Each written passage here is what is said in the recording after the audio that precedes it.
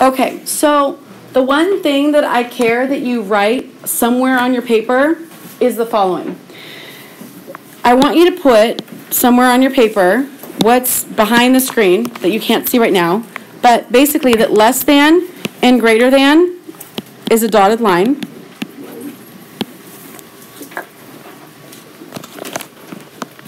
Somewhere on your paper, the margin, above, below. I also want you to put that less than or equal to or greater than or equal to is then the solid line.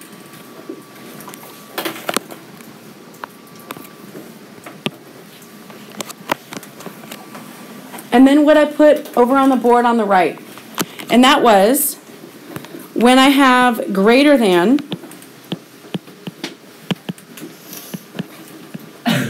that generally means that the shading is above, it's to the right, it's higher than the line.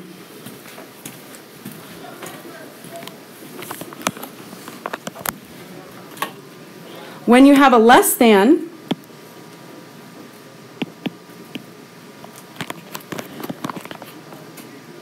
it means that you've got generally it's on the left side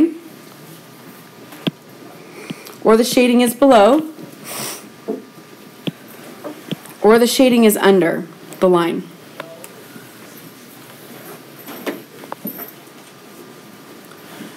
So that's our job for today. We first need to decide, is it going to be a solid line or a dotted line?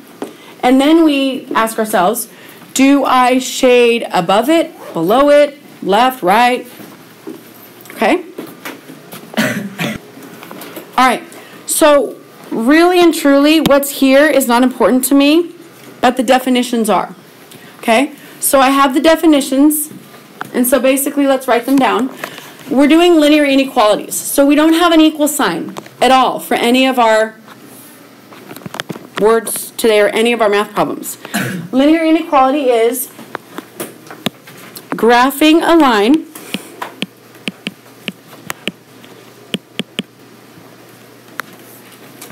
with shading and it has tons of solutions.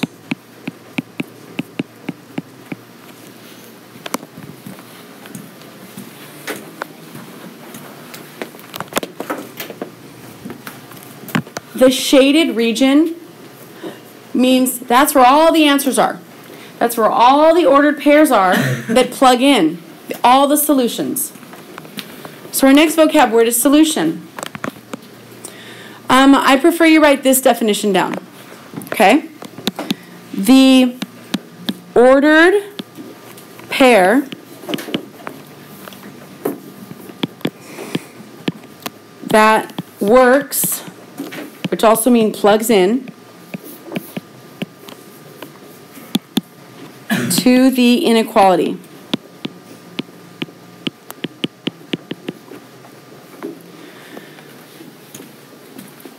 Your ordered pair that plugs into the inequality.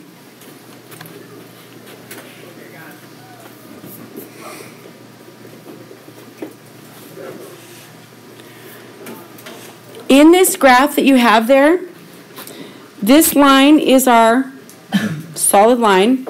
And do you notice how the shading is under?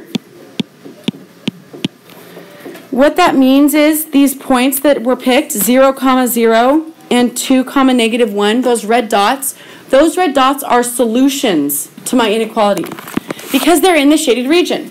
If it's shaded, that's where all the answers are, the ordered pairs that you can plug in.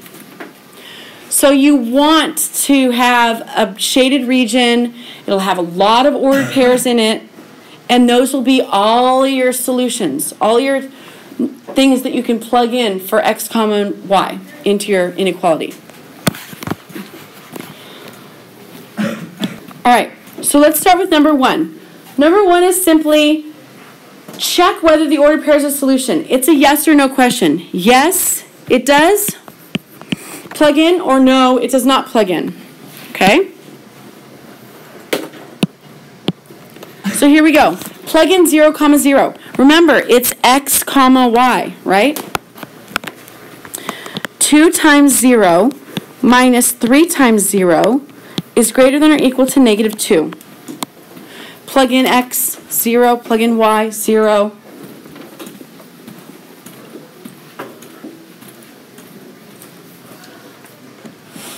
So, do the math now. 2 times 0, 0. Minus 3 times 0, 0. Greater than or equal to negative 2. Is 0 greater than or equal to negative 2? That's so yes or no. Is 0 bigger than negative 2? Yes. Yes. Let's say that you're still confused and you really don't know. Look at the number line. So the number line's on the side of the board, right? So you look at the number line. And you look at 0 and you look at 2. Look at negative 2. Anything that's on the right side or higher or bigger, that means that it's greater. Is 0 greater than? Yeah, 0 is right here. Negative 2 is right here. Yeah, 0 is bigger. Yes. So it's yes. The answer to A is yes. Same thing for B. Plug it in, plug it in. I'll do it in blue. 2 times 0 minus 3 times 1 is greater than or equal to negative 2.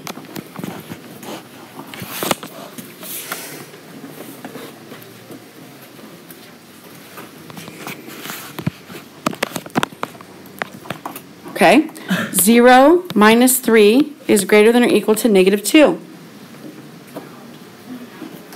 Well, 0 minus 3, that's negative 3. Is negative 3 greater than ne negative 2? Look at the number line. Okay, whatever number's on the right side, those are the bigger numbers. So no. It's not. 0, negative 1 is not a solution. Or it's positive 1, sorry. 0, 1 would not be in the shaded part. 0, 1 would be in the white part, not the shaded part. All right, C. Um, does 2 for x and negative 1 for y plug in? Do the math real quick. 2x minus 3y greater than or equal to negative 2.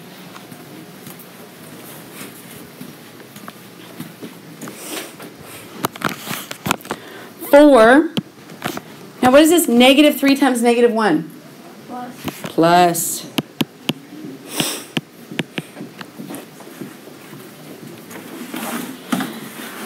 Is 7 greater than or equal to negative 2? Yes or no? Yes. Yes, it is. Good. Okay, it's a yes no question. You're plugging it in. We didn't graph at all on this problem. The graph starts on, now these directions, I'm going to give you ones that I actually like the phrasing better. So um, let's start with number two. Number two is just what I did, you know, remember with my negative five, right? Okay. It's on x and it's at negative two. So tell me, is my is my dot going to be on the x-axis or the y-axis? X. X-axis. Oh, this is all mixed up. Y. Okay. Negative two. Let's do it in red so you can really see it. Make a dot at negative two, right there. X-axis at negative two. Now tell me, will my line be horizontal or will my line be vertical? Vertical. Vertical? Okay, but be careful. Because remember this. And that's so bad. That's better.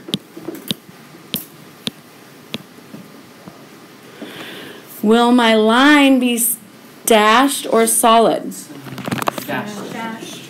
Dashed. So you're going to have to make your line either on the side of it, because you don't have red, you know. Going to be vertical. Okay.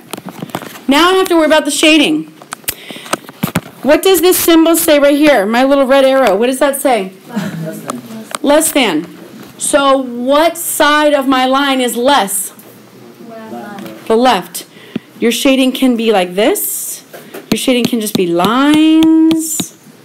But the point is, any ordered pair that's in the shaded region in the red is a solution to my inequality there.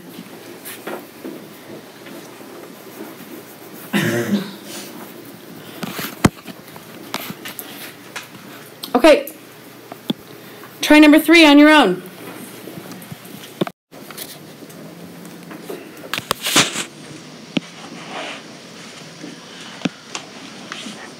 Okay.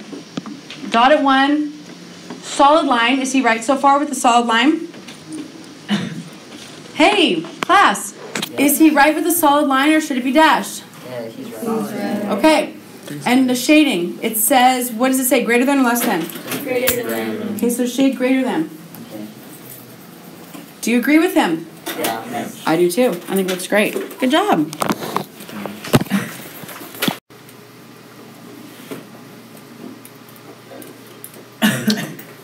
We just did that. Plus b. It's not. In y equals mx plus b. Okay, so the rules for putting something. The x needs to be moved over. The y needs to be all by itself on the left. Right after my inequality sign or my equal sign goes my mx plus b. So what is my, take a break. What is um, the first step for this one?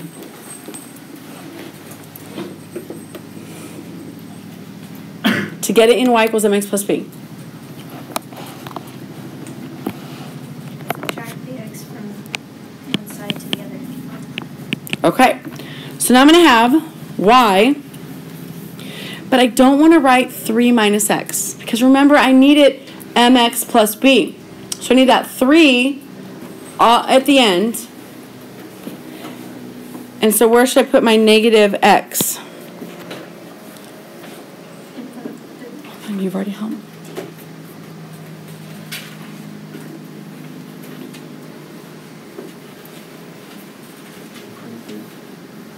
Okay. I'm going to put a 1 there just in case someone needs that clarification, plus 3. Because if you'll remember, this is M, slope. This is B, begin. B is where you begin on your graph, the y-intercept. My M is negative 1 over 1. That's my slope. My B is 3. Okay. On your graph, let's do it together. Begin at 3. Begin at 3. It's your y-intercept. So you go to the y-axis at 3. Make a dot at 3 right there. And then I need to do my slope. Rise over run. Rise negative 1, run 1. Rise negative 1, run positive 1 to the right. Down 1 over 1. Down 1 over 1. And so on and so forth. Should I do a dotted line or a solid line? Look at your inequality. If it's just less than, greater than, dashed line. If it's less than or equal to, greater than or equal to, solid. So is this dashed or solid? Okay, do your best to make the dashed line.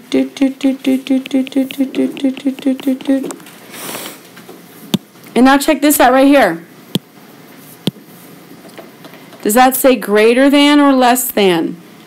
Look at what I'm focusing on. Greater than. What's greater than my line? Where is greater than this blue line? Okay. Greater than the blue line. Look at the words from before.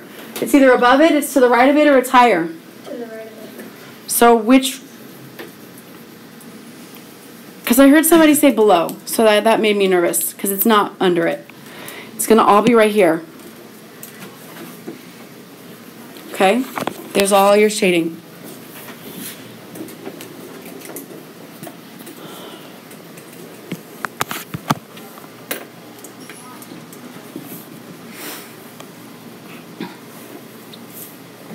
Right, let's go to number. Okay, number five. Two x plus y is greater than six. Okay, go ahead and do it on your own.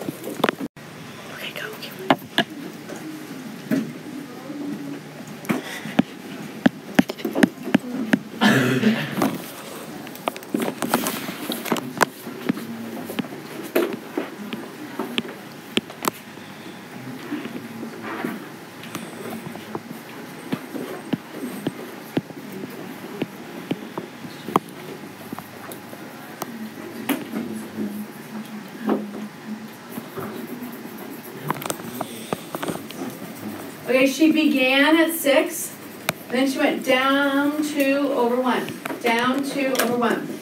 She's now making a dotted line. Now, does that say greater than or less than? Greater than. So she needs to shade greater than the line. Is she right? Yeah. Yes, she is. Okay. Remember how I was asking you to do number six while she was doing number five? Okay. So you're maybe halfway done with number six? Oh. Okay. I guess I'm just jumping to number six. Okay, hold on. Okay, number six.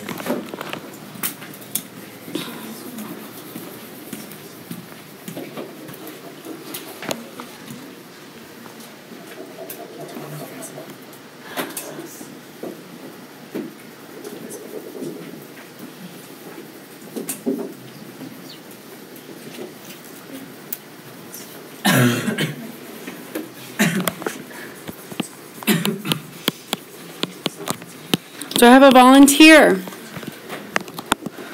to do the math and draw the graph? Okay, take a look at what she did. She changed the inequality right here. Perfect. Now, less than this line. Be careful. Look at how the line is tilted, and you need to remember that the line's going to go on forever and ever. Where's less than the line going to be?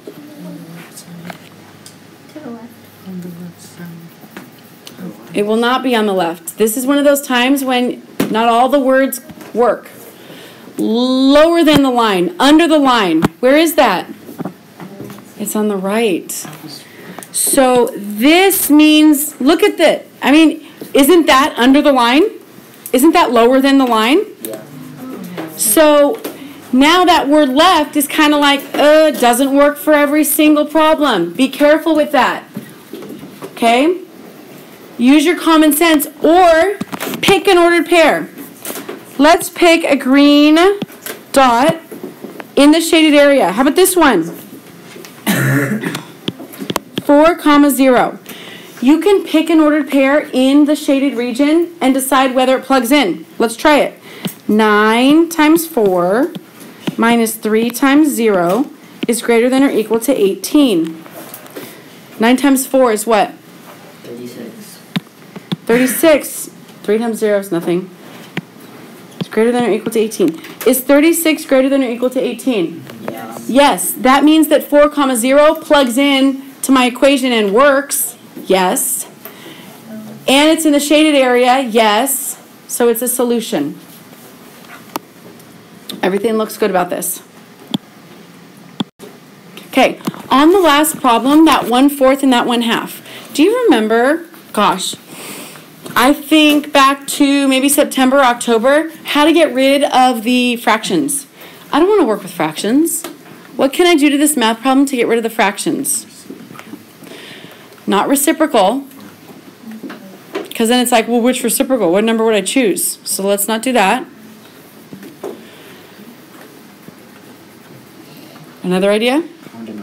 Multiply by the common denominator. Multiply every term by the common denominator. Okay. So I'm going to write it so it's a little bit more spaced out. What's the common denominator of four and two? Four. Common denominator of four and two is four. Okay, common denominator of four and two is what? Common denominator of four and two? Four. Okay, that means I'm gonna, and I'm gonna do four over one so that you think it looks a little more convenient for you. Multiply every term by four over one.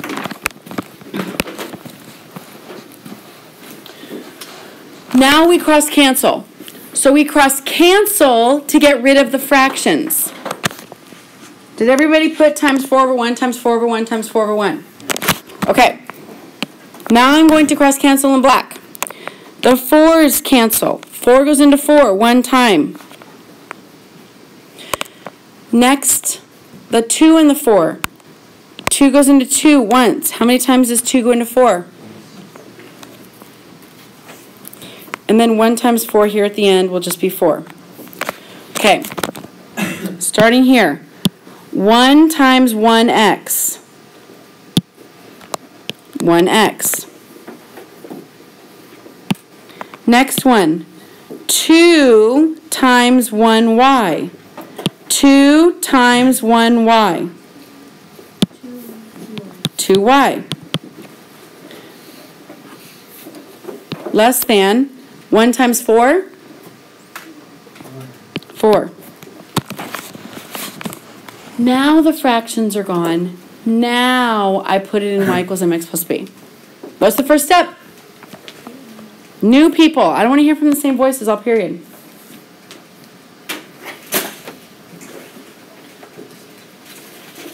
First step. What's the first step? Okay, thank you. Subtract 1x. 2y is less than, and then right after the less than symbol, put negative 1x plus 4. Put the x term immediately after. Okay, and how do I get rid of the 2? Divide by 2. Everything.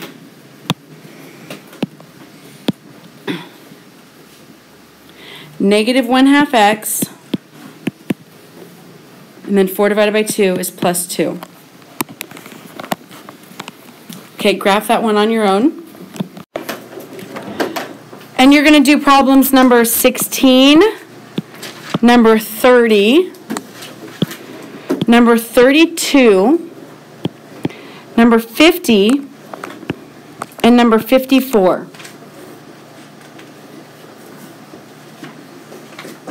So from the textbook, you're doing those problems, and you're gonna do the one through four that's just right there, that's classwork. So you have a good ten minutes right now to get one through four done. And I won't project the book because there's not enough time, but, um, go ahead and get started.